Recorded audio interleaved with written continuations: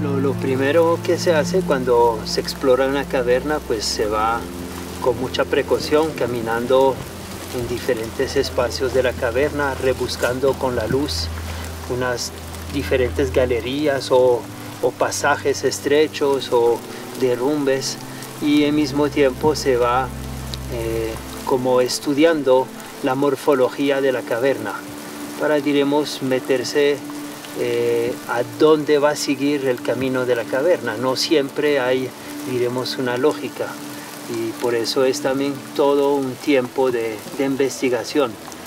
Tú puedes llegar en una caverna y pensar que has visto el primer túnel principal y en realidad un año, dos años después ves otro túnel que te parece que no habías visto. Es un trabajo de largo tiempo donde vas a cada vez eh, descubriendo más y más y más. Y eso es ese mundo mágico también.